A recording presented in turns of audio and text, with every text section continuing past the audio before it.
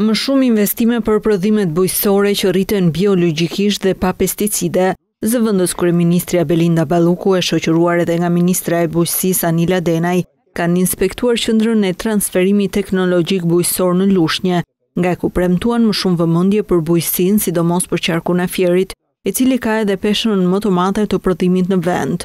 Dhe e bëjmë të kuptojmë që edhe në qoftë se nuk përdor pesticide, produkti rritet dhe madje edhe më i shëndetshëm. Apo jo? Qarku i Fierit është një nga qarqet më të rëndësishme për bujqësinë dhe ne e kemi një angazhim gjithë qeveria, pra jo vetëm Ministria e Bujqësisë dhe Zhvillimit Rural, po të gjitha ministritë të cilat mund të kontribuojnë në sektorin bujqësor janë të angazhuara sipas porosisë së kryeministrit dhe sipas prioriteteve që ne kemi në programin tonë për Shqipërinë 2030. Ministrja e Bujqësisë Anila Denaj tha se zbatimi i metodave të reja bujqësore në prodhim ndikon direkt në cilësi dhe në rendiment.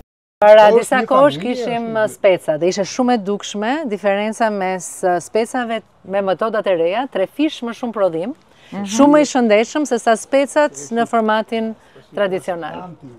Qendra Kombëtare e Transferimit Teknologjik Bujqësor në Lushnje krijon mundësinë e implementimit të inovacionit dhe metodave të reja të zhvillimit ekonomik bujqësor.